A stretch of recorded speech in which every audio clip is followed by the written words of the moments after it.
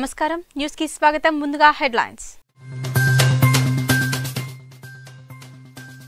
కులం మతం అంటూ జనాన్ని చీల్చుతున్నారని వెంకయ్య ఆందోళన.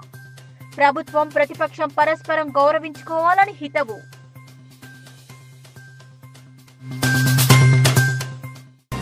లోయర్ ట్యాంక్ బండ్ కట్టమైసమ్మ దేవాలయం వద్ద బ్రిడ్జ్ నిర్మాణ పనులను పరిశీలించిన మంత్రి.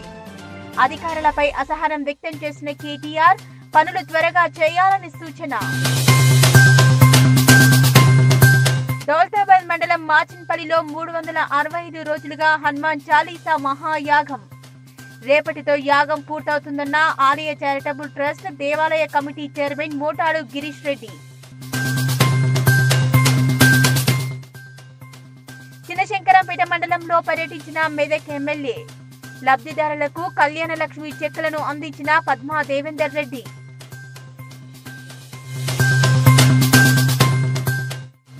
విశాఖలో జరుగుతున్న ఇన్వెస్టర్ సమ్మిట్లో పాల్గొన్న కేంద్ర మంత్రి కిషన్ రెడ్డి నోటి వెంట విశాఖ రాజధాని ప్రస్తావన వచ్చింది. సముద్ర ఉత్పత్తులు రొయ్యలు pharmaceuticals electronics petroleum engineering goods మొదలైన రంగాలలో ఏపీకి గొప్ప వనరులు అవకాశాలు ఉన్నాయని కేంద్ర మంత్రి కిషన్ రెడ్డి తెలిపారు. రాష్ట్ర అభివృద్ధికి కేంద్రం నిరంతర సహకారం ఇస్తోందన్నారు. విశాఖపట్నం స్మార్ట్ సిటీకి మొత్తం పెట్టుబడి వ్యయం మూడు వేల కోట్లు అవుతుందని కిషన్ రెడ్డి పేర్కొన్నారు. Advantage of Andhra Pradesh is ideal for this investor summit. The state of Andhra Pradesh provides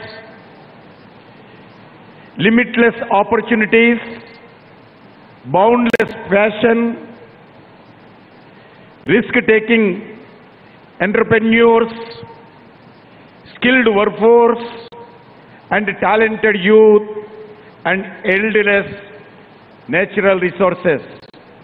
Therefore, I am glad to see high profile international and national business leaders and experts and uh, intellectuals attending this investor summit.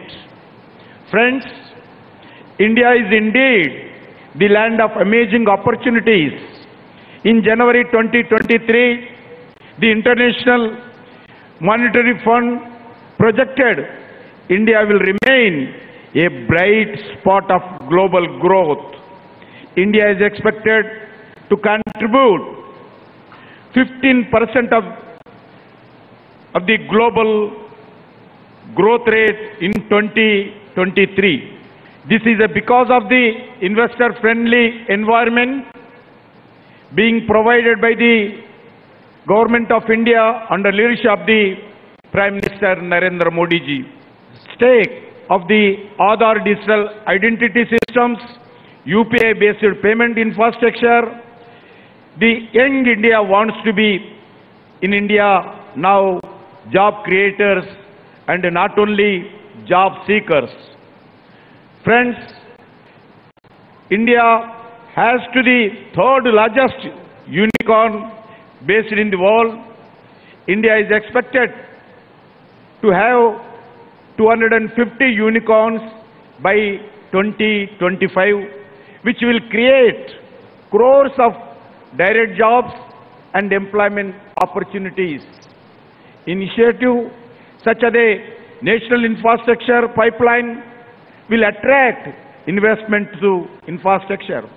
This will be crucial for attaining the lower tank bund Kattamaisamma దేవాలయం వద్ద నుంచి VST వరకు నిర్మించే steel bridge నిర్మాణ పనులను మంత్రి కేటీఆర్ ఇవాళ పరిశీలించారు.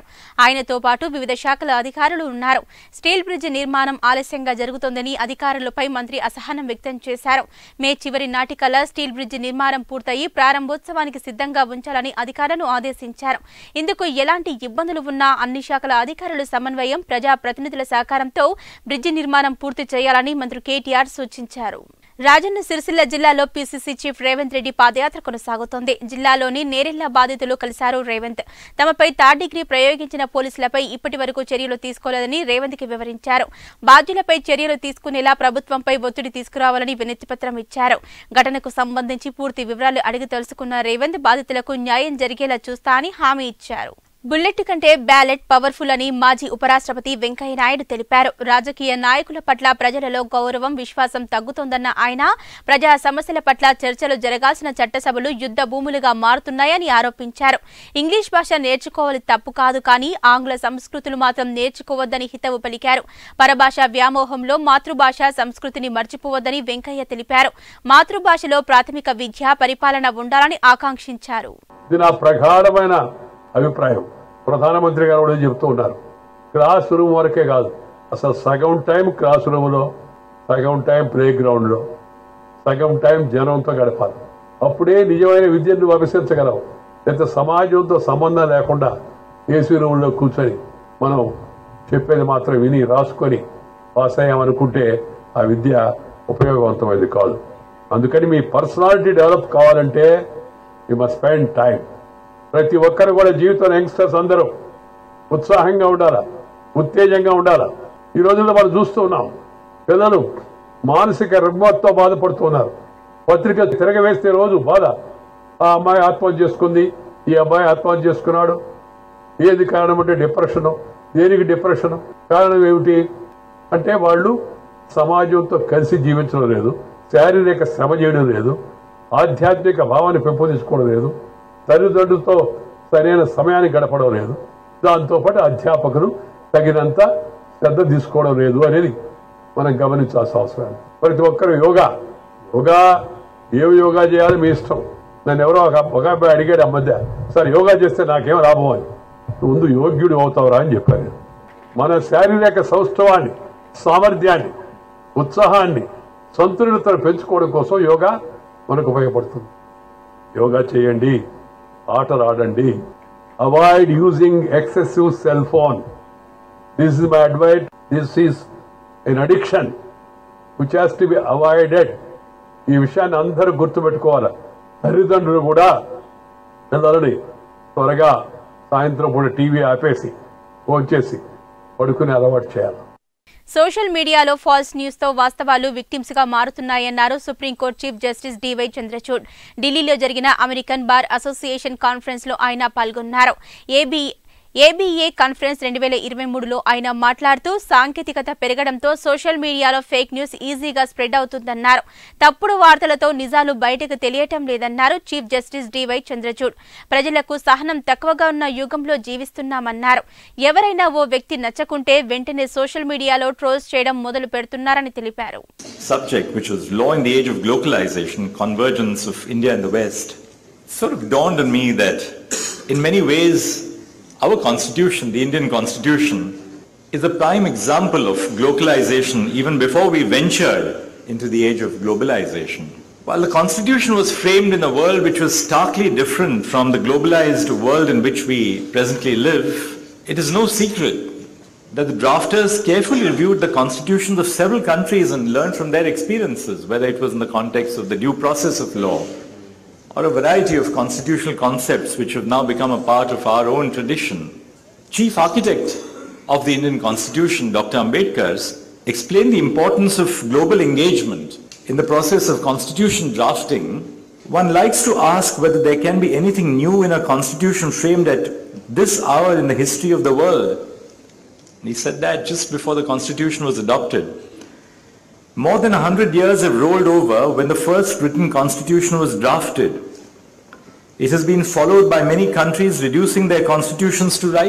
చైనాతో వాస్తవ నియంత్రణ రేఖ సమీపంలో తూర్పు లద్దాఖ్లో భారత సైనికులు క్రికెట్ ఆడారు. రెండు వేల ఇరవై నుంచి భారత్ చైనా మధ్య ఉద్రిక్త పరిస్థితులు ఏర్పడినా గాల్వాన్ వ్యాలీలోనే జవాన్లు క్రికెట్ మ్యాచ్లో పాల్గొన్నారు. పాటియాల బ్రిగేడ్ త్రిశూల్ డివిజన్కు చెందిన సైనికుల బృందం ఈ క్రికెట్ మ్యాచ్లో పాల్గొంది. భారత సైనికులు ఉత్సాహంగా క్రికెట్ ఆడుతున్న ఫోటోలను ఇండియన్ ఆర్మీ తన ట్విట్టర్లో పోస్టు చేసింది. సున్నా డిగ్రీల ఉష్ణోగ్రతలలో అత్యంత ఎత్తైన ప్రదేశంలో సైనిక సైనికులు క్రికెట్ ఆడటం అందరినీ ఆకట్టుకుంటోంది. జీ ట్వంటీ విదేశాంగ మంత్రుల సమావేశం సందర్భంగా న్యూఢిల్లీలో భారత విదేశాంగ మంత్రి ఎస్ జైశంకర్ చైనా విదేశాంగ మంత్రి క్విన్ గ్వాంగ్తో సమావేశమైన సమయంలోనే ఈ మ్యాచ్ ఆడటం విశేషం. టీమిండియా స్టార్ ఆటగాడు విరాట్ కోహ్లీ సతీమణి అనుష్క శర్మతో కలిసి మధ్యప్రదేశ్లోని ఉజ్జయిని ఆలయాన్ని సందర్శించారు. మహాకాళేశ్వర్ ఆలయంలో విరిష్కా జంట దర్శనం చేసుకుంది. గర్భగుడి ప్రధాన ద్వారం వద్ద కూర్చుని భక్తులతో కలిసి భజనలు చేశారు. పంచకట్టుతో మహాకాళేశ్వర్ ఆలయానికి వచ్చిన కోహ్లీ ప్రత్యేక పూజలు నిర్వహించారు. ఆస్ట్రేలియా ఆస్ట్రేలియాతో జరుగుతున్న మూడో టెస్టు మూడు రోజుల్లోనే ముగియడంతో దొరికిన కాస్త విరామంలో ఈ రన్ మిషన్ తన సతీమణితో ఉజ్జయిని ఆలయంలో ప్రత్యక్షమయ్యారు. దేశవ్యాప్తంగా జీ ట్వంటీ సమావేశాలు జరుగుతున్న నేపథ్యంలో హైదరాబాద్ నెక్లెస్ రోడ్లోని ఆర్బీఐ ఆధ్వర్యంలో టెన్ కే ఫైవ్ కే రన్ను నిర్వహించారు.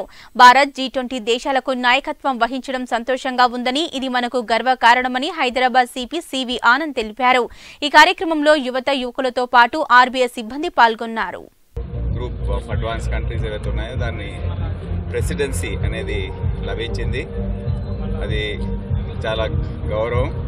మన దేశానికే ప్రతిష్టాత్మకమైన అంశం అది. దాని గురించి దేశవ్యాప్తంగా ఎన్నో కార్యక్రమాలు జరుగుతూ ఉన్నాయి. మన దగ్గర కూడా చాలా మీటింగ్స్ కోఆర్డినేషన్ సమిట్స్ ఇవన్నీ కూడా జరుగుతూ ఉన్నాయి.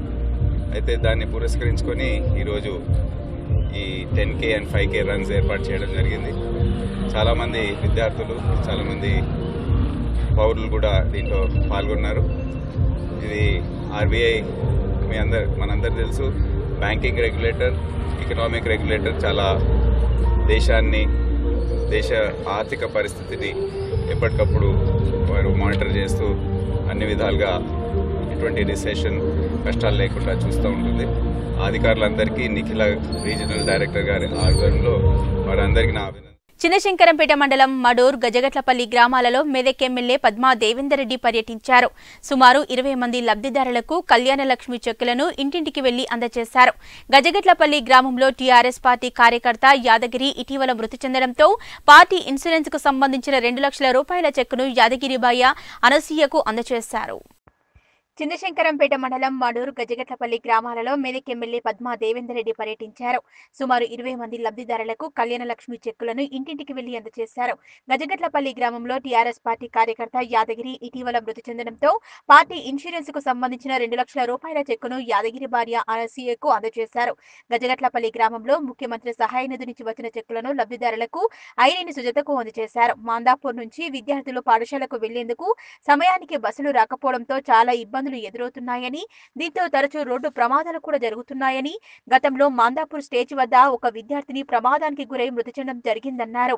రెండు రోజుల క్రితం మళ్ళీ రోడ్డు ప్రమాదం జరిగిందని చేగుంట నుంచి వెళ్ళే బస్సు గజకట్లపల్లి మాందాపూర్ గ్రామాల మీదుగా మెదక్ వెళ్ళేందుకు పాఠశాలకు సమయానికి బస్సులు వేయాలని మాందాపూర్ సర్పంచ్ భిక్షపతి గౌడ్ ఎమ్మెల్యేని కోరారు.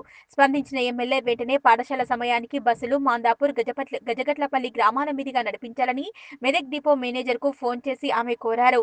అనంతరం ఆమె మాట్లాడుతూ తెలంగాణ రాష్ట్రం ఏర్పాటు అయ్యాక ముఖ్యమంత్రి చంద్రశేఖరరావు పేదల కోసం ఎన్నో సంక్షేమ పథకాలు ప్రవేశపెట్టడం జరిగిందని కళ్యాణ లక్ష్మి పథకం పేదవారికి ఒక వరమని అన్నారు.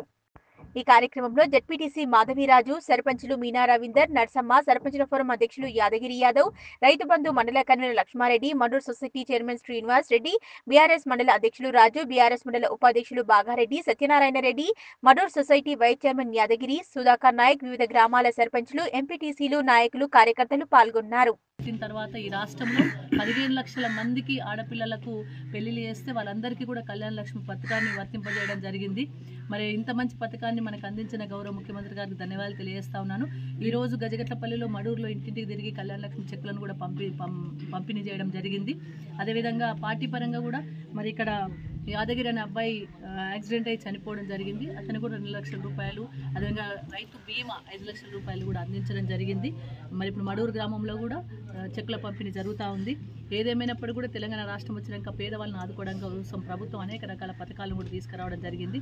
మరి ఇప్పుడు ఉమెన్స్ డే కూడా వస్తూ ఉంది. మార్చి హైదరాబాద్లో మరోసారి డ్రగ్స్ కలకలం సృష్టించింది. భారీగా స్టెరాయిడ్ ఇంజెక్షన్స్ పట్టుకున్నారు సౌత్ జోన్ పోలీసులు.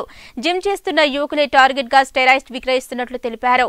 నూట ఎనభై ఇంజెక్షన్లు పదకొండు వందల టాబ్లెట్లు స్వాధీనం చేసుకున్నారు. అలాగే కూకట్పల్లి పోలీస్ స్టేషన్ పరిధిలో హ్యాషాయిల్ మత్తు పదార్థాన్ని విక్రయించేందుకు యత్నిస్తున్న ఇద్దరిని బాలానగర్ ఎస్ఓటి పోలీసులు అరెస్ట్ అరెస్టు చేశారు. నిందితుల నుంచి నాలుగు లక్షల నలభై వేల విలువైన హ్యాష్ ఆయిల్ నింపిన రెండు వందల ఇరవై చిన్న కంటైనర్ డబ్బాలను స్వాధీనం చేసుకున్నారు. నిందితులు నారా పూజారి మధు హంటల్ ఏపీలోని సీలేరు నుంచి హ్యాషాయిల్ను కొనుగోలు చేసి కుకట్పల్లిలో విక్రయించేందుకు యత్నిస్తుండగా పక్కా సమాచారంతో పట్టుకున్నామన్నారు Balanagar DCP Srinivasarao. Law and order zone పరిధిలో మనం ఈ డ్రగ్ పెడ్లర్స్ మీద పటిష్టమైన నిఘాను ఏర్పాటు చేయడం జరిగింది. సో ఇప్పుడు మనం ఈరోజు morning around seven AM Kukatpally Y junction ఏరియాలో ఒక ఇద్దరు ఒరిస్సాకి సంబంధించినటువంటి నిందితులను అదుపులో తీసుకోవడం జరిగింది. వీరి దగ్గర నుంచి సుమారు eleven hundred grams hash oil జెల్ని seize చేయడం జరిగింది. ఇది టూ ట్వంటీ స్మాల్ టిన్స్లో ఈచ్ టిన్లో ఫైవ్ గ్రామ్స్ పట్టు క్వాంటిటీని ఇచ్చి ఇక్కడ సెల్ చేయడానికి తీసుకురావడం జరిగింది. వీరందరూ కూడా ఈ ప్రాసెస్ మొత్తం సీలేర్ ఏరియాలో చేయడం జరిగింది. అక్కడి నుంచి ఇక్కడ మంచి మార్కెట్ ఉంటుంది అనేటటువంటి ఆస్తి ఇక్కడికి రావడం జరిగింది. వచ్చినటువంటి పక్కా సమాచారంతో SOT and law and order పోలీసులు వారిని అదుపులోకి తీసుకోవడం జరిగింది. జై సీతారాం హనుమాన్ దేవస్థానం వారిచే నిర్వహిస్తున్న మూడు వందల అరవై ఐదు రోజుల హనుమాన్ చాలీసా మహాయాగం రేపటితో పూర్తి కావస్తోందని సీతారాం హనుమాన్ దేవస్థానం ఆలయ చారిటబుల్ ట్రస్ట్ దేవాలయ కమిటీ చైర్మన్ మోటాడు గిరీష్ రెడ్డి పేర్కొన్నారు. సిద్దిపేట జిల్లా దౌలతాబాద్ మండలం మాచిన్పల్లి సీతారాంపల్లిలోని అభయాంజనేయ దేవస్థానంలో నిర్వహిస్తున్న హనుమాన్ చాలీసా యాగంలో గిరీష్ రెడ్డి పాల్గొన్నారు. జై సీతారాం హనుమాన్ దేవస్థానం వారిచే నిర్వహిస్తున్న మూడు వందల అరవై ఐదు రోజుల హనుమాన్ చాలీసా యాగం రేపటితో పూర్తి కావస్తుందని సీతారాం హనుమాన్ దేవస్థానం ఆలయ చారిటబుల్ ట్రస్ట్ దేవాలయ కమిటీ చైర్మన్ మోటాడు గిరీష్ రెడ్డి పేర్కొన్నారు. సిద్దిపేట జిల్లా దౌలతాబాద్ మండలం మాచిన్పల్లి సీతారాంపల్లిలోని అభయాంజనేయ స్వామి దేవస్థానంలో నిర్వహిస్తున్న హనుమాన్ చాలీసా యాగంలో గిరీష్ రెడ్డి పాల్గొన్నారు. ఈ సందర్భంగా ఆయన మాట్లాడుతూ గత సంవత్సరం నుంచి జరుగుతున్న హనుమాన్ చాలీసా యాగం రేపు ఐదవ తారీఖున ముగింపు కార్యక్రమం చేపట్టడం చాలా సంతోషకరమని భక్తులు అధిక సంఖ్యలో హాజరై ఈ కార్యక్రమాన్ని విజయవంతం చేయాలని తెలిపారు. దేశ ప్రజలు బాగుండాలనే సంకల్పంతో పాడి పంటలు పశుపక్షాదులు సుఖసంతోషాలతో ఉండాలనే ఉద్దేశంతో ఈ యాగం నిర్వహించడం జరిగిందని పేర్కొన్నారు. ఈ కార్యక్రమంలో ఆలయ ప్రధాన అర్చకులు Krishnamacharya Guruswamy Bhupal Reddy Radha high court advocate Phanidhar Rao తదితరులు పాల్గొన్నారు.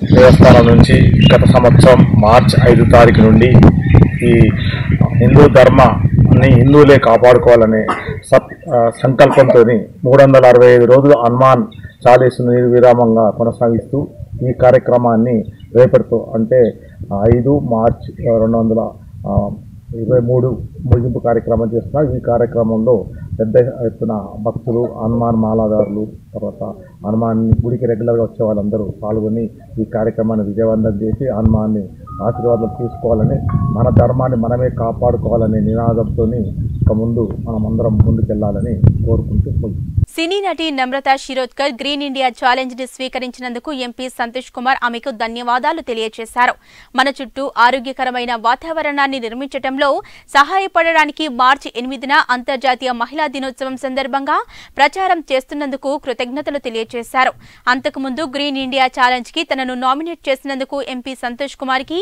నమ్రత ధన్యవాదాలు తెలిపారు. మార్చి ఎనిమిదిన అంతర్జాతీయ మహిళా దినోత్సవం సందర్భంగా మహిళలు అందరూ మొక్కలు నాటాలని కోరుతున్నానన్నారు. ఈ విషయాన్ని సోషల్ మీడియా వేదికగా పంచుకుంటూ ఓ వీడియోను కూడా షేర్ చేశారు for International Women's Day as requested by Rajya Sabha MP Joganpalli Santosh Kumar. I appeal to all the women out there to actively plant saplings. Happy International Women's Day to all of you out there. Hi everyone.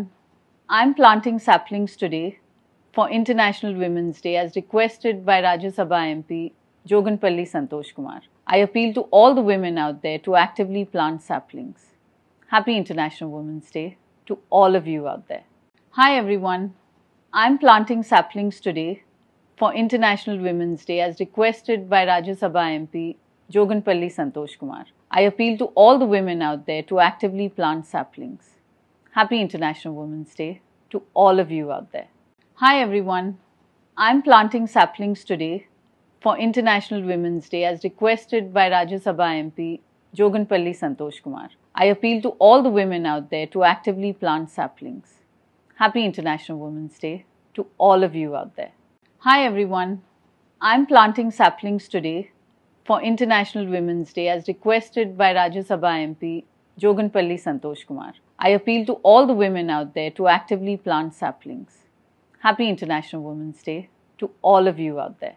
Hi everyone, I'm planting saplings today for International Women's Day as requested by Rajya Sabha MP Joganpalli Santosh Kumar. I appeal to all the women out there to actively plant saplings. Happy International Women's Day to all of you out there. Rajanna Sircilla జిల్లాలోని ఎల్లారెడ్డిపేట మండలం తిమ్మాపూర్ వద్ద TPCC chief Revanth Reddy కాన్వాయ్కు accident జరిగింది. Convoy over స్పీడ్లో రావడంతో ఆరు కార్లు బలంగా ఒకదానికొకటి ఢీకొనడంతో ఘటన చోటు చేసుకున్నట్లు తెలుస్తోంది. ఈ సమయంలో ఒక్కసారిగా బెల్లు ఓపెన్ కావడంతో భారీ ప్రమాదం తప్పింది. ఈ ఘటనలో నాలుగు కార్లతో పాటు ఇద్దరు రిపోర్టర్లకు కార్లు పూర్తిగా ధ్వంసమయ్యాయి. స్వల్ప గాయాలతో సిరిసిల్ల రిపోర్టర్లు బయటపడ్డట్టు తెలుస్తోంది. కాగా ఈ ప్రమాదంలో ఎవరికి ఏం కాకపోవడంతో అంతా ఊపిరి పీల్చుకున్నారు. మెదక్ జిల్లా రామేంపేట మున్సిపాలిటీ పరిధిలోని పదకొండవ వార్డులో బాలల హక్కులపై అవగాహన కార్యక్రమం నిర్వహించారు. తెలంగాణ బాలల పరిరక్షణ విభాగం మహిళా శిశు సంక్షేమ శాఖ ఆధ్వర్యంలో బాలల హక్కులపై అవగాహన కార్యక్రమాన్ని ఏర్పాటు చేశారు. కౌన్సిలర్ చిలిక గంగాధర్ అధ్యక్షతన ఈ సమావేశం నిర్వహించారు. మెదక్ జిల్లా రామంపేట మున్సిపాలిటీ పరిధిలోని పదకొండవ వార్డులో బాలల హక్కులపై అవగాహన కార్యక్రమం నిర్వహించారు. తెలంగాణ బాలల పరిరక్షణ విభాగం మహిళా శిశు సంక్షేమ శాఖ ఆధ్వర్యంలో బాలల హక్కులపై అవగాహన కార్యక్రమాన్ని ఏర్పాటు చేశారు. కౌన్సిలర్ చిలుక గంగాధర్ అధ్యక్షతన సమావేశం నిర్వహించారు. ముఖ్యంగా బాల్య వివాహాలు బాల బాలికలపై దాడులు శిశు విక్రయాలు బాలల హక్కులను బహరించే విధంగా ఎవరైనా చేస్తే వారిపై చట్ట ప్రకారం చర్యలు తీసుకుంటామని బాలల హక్కులపై అవగాహన కల్పించారు. లింగ వివక్ష లేని సమాజం నిర్మించడం కోసం ప్రతి ఒక్కరూ కృషి చేయాలని ఈ సందర్భంగా పిలుపునిచ్చారు. బాలిలకు చిన్నతనం నుంచే మంచి చెడు నేర్పించాలని చెడు మార్గం వైపు వెళ్ళకుండా తల్లిదండ్రులు బాధ్యత వహించాల్సిన అవసరం ఉందని చిలి కౌన్సిలర్ చిలిక చిలిక గంగాధర్ సూచించారు.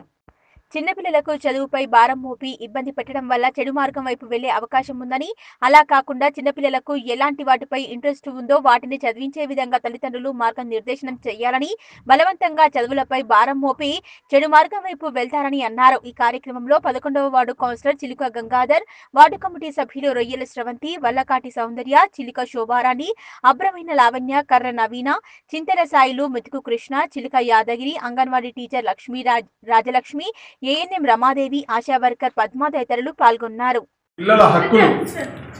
పిల్లల హక్కులు ఏవైతే అనుకుంటున్నామో మనకు ఏ విధంగా అయితే భారత రాజ్యాంగం మనకు హక్కులను కల్పించిందో అదే విధంగా సేమ్ పిల్లలకు కూడా హక్కులు ఉన్నాయి మన హక్కులకు ఏ విధంగా పిల్లలకు కూడా అదే విధంగా హక్కులు ఉన్నాయి ఆ హక్కులు ఏవి అంటే పిల్లలు జీవించే హక్కు రక్షణ పొందే హక్కు భాగస్వామ్య హక్కు ఆ సంఘ సమావేశాల్లో పాల్గొనే హక్కు అభివృద్ధి చెందే హక్కు ఈ పిల్లలకున్న హక్కులు ఈ నాలుగు రకాల హక్కులు ఏవైతే అనుకుంటామో ఈ హక్కులకు భంగం అనేది మన మెదక్ జిల్లాలో కానీ మన తెలంగాణలో కానీ ఎక్కడ చూసినా ఎక్కువగా జరుగుతుంది.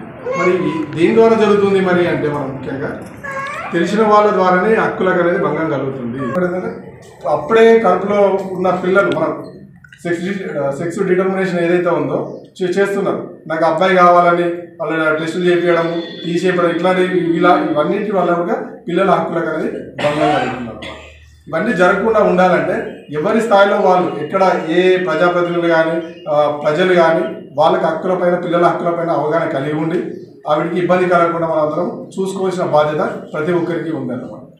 చదువుకున్న ప్రతి ఒక్కరికి ఉద్యోగ అవకాశాలు కల్పించలేదు ఏ గవర్నమెంట్ కానీ మరి వాళ్ళు చదువుకున్న వాళ్ళకు ప్రతి ఒక్కరికి జాబ్ వస్తుందని ఆశ ఉండదు.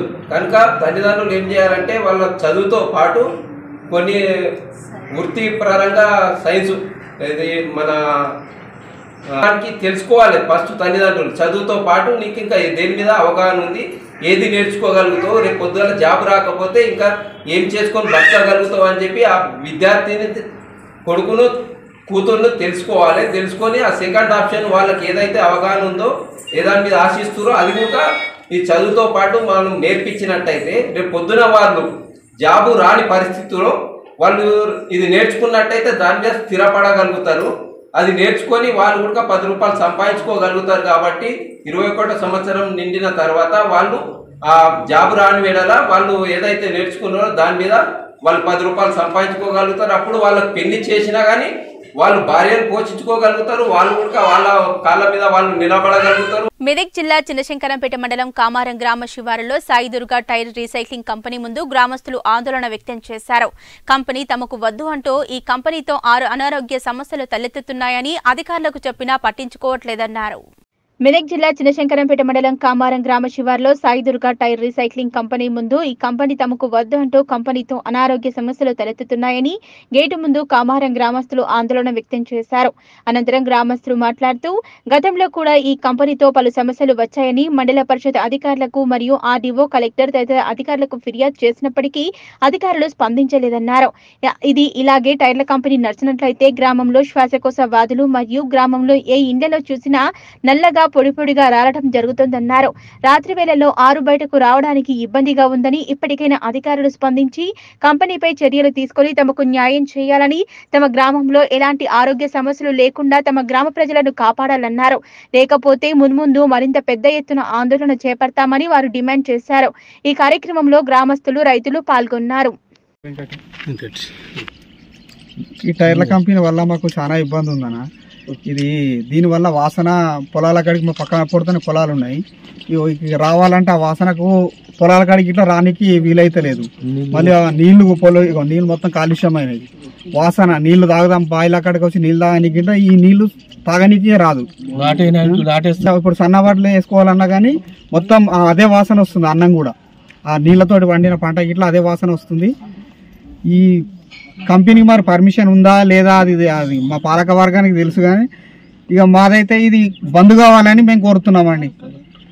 ఇక్కడ శివ కామారం శివారులో టైలర్ కంపెనీ అనేది స్టార్ట్ చేయడం జరిగింది రెండు వేల ఆరులో. దానివల్ల ఈ ఇక్కడ చుట్టుముట్టని పంట పొలాలన్నీ నాశనం అవుతున్నాయి పంట పొలాలు ఖరాబ్ అవుతున్నాయి. నెక్స్ట్ బోర్లలో కొని వాటర్ కూడా కలుషితంగా వస్తున్నాయి. నెక్స్ట్ పశువులకు కూడా రోగాలు రావడం జరుగుతుంది మనుషులకు కూడా రోగాలు రావడం జరుగుతుంది. దీన్ని వెంటనే క్లో మూసివేయాలని కలెక్టర్కు విన- విజ్ఞప్తి చేస్తున్నాం మేము. గ్రామారం కామారం గ్రామ ప్రజల తరపున.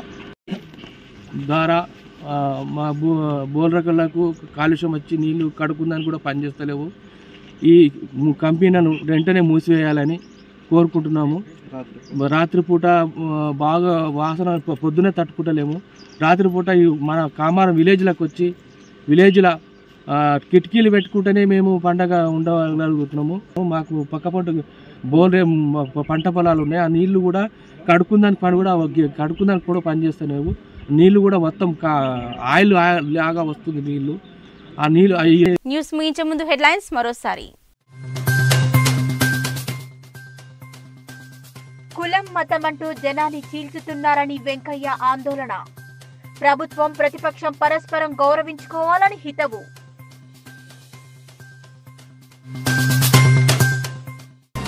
లోయర్ ట్యాంక్ బండ్ కట్టమైసమ్మ దేవాలయం వద్ద బ్రిడ్జ్ నిర్మాణ పనులను పరిశీలించిన మంత్రి. అధికారులపై అసహనం వ్యక్తం చేసిన కేటీఆర్ పనులు త్వరగా చేయాలని సూచన. దౌలతాబాద్ మండలం మాచిన్పల్లిలో మూడు వందల అరవై ఐదు రోజులుగా హనుమాన్ చాలీసా మహాయాగం. రేపటితో యాగం పూర్తవుతుందన్న ఆలయ చారిటబుల్ ట్రస్ట్ దేవాలయ కమిటీ చైర్మన్ మోటాడు గిరీష్ రెడ్డి. చిన్నశంకరంపేట మండలంలో పర్యటించిన మెదక్ ఎమ్మెల్యే లబ్ధిదారులకు కళ్యాణ లక్ష్మి చెక్కులను అందించిన పద్మా దేవేందర్ రెడ్డి.